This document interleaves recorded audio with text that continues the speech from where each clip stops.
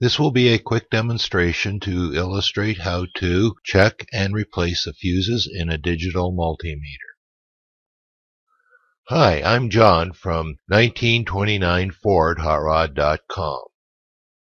Most digital multimeters have the current inputs fused. These are always clearly labeled. Sometimes they give you the fuse rating. Sometimes they just show the symbols of the jacks that are fused. If you find that you're unable to make a current measurement while having the digital multimeter set to a current function, 9 chances out of 10 the fuse in the digital multimeter for that jack has been blown. This particular meter is fused on the 10 amp function and also for the temperature, milliamp function, and inductance function. So these two jacks are fused. And you can see that by these bottom symbols here. They show that they're fused on the uh, jack here to the common. To replace or check the fuses, you'll need a slotted screwdriver. We'll turn the meter around and in the back we'll remove the two screws. Carefully remove the back panel and do not lose the screws. Here you'll see there are two fuses here, one here and one here. Now I can very carefully remove the fuses using this slotted screwdriver.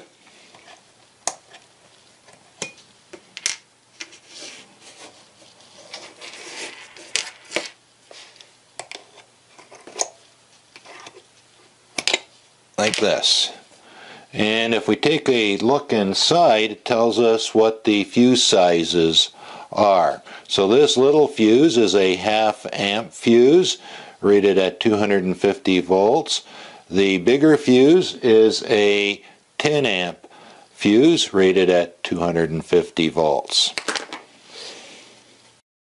To prevent possible personal injury and damage to the digital multimeter, only replace the fuses with the same physical size and ratings.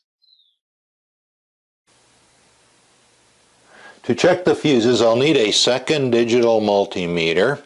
We'll turn it on, set it to the resistance function, the lowest range, 200 ohms. Let's make sure we have good meter leads quickly.